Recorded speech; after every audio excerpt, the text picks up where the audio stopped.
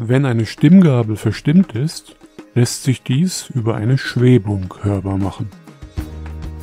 Unsere Stimmgabel rechts wurde durch ein kleines Gewicht ein wenig aus der Stimmung gebracht. Regen wir die Gabel nun an.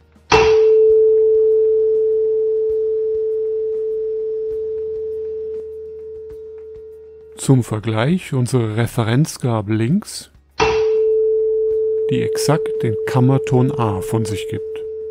So hört man keinen Unterschied. Regen wir jetzt beide gleichzeitig an.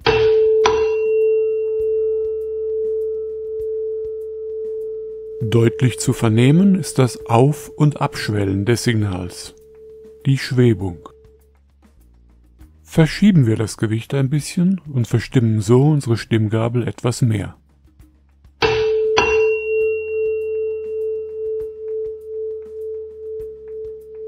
Die Schwebung wird schneller. Verschieben wir das Gewicht noch etwas weiter.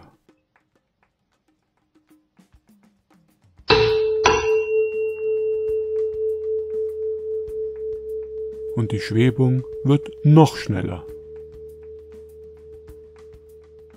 Jetzt wollen wir es genauer wissen und gehen noch einmal auf die mittlere Position zurück.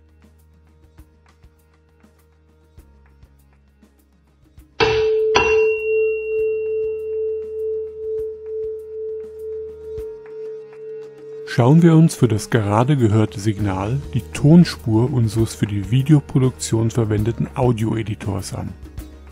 Die Schwebung ist auch hier deutlich erkennbar. Der Kammerton A hat genau 440 Hertz. Aber welche Frequenz hat unsere verstimmte Stimmgabel? Drücken Sie die Verstimmung auch in Einheiten von Cent, das heißt in Hundertstel Halbtonschritten aus.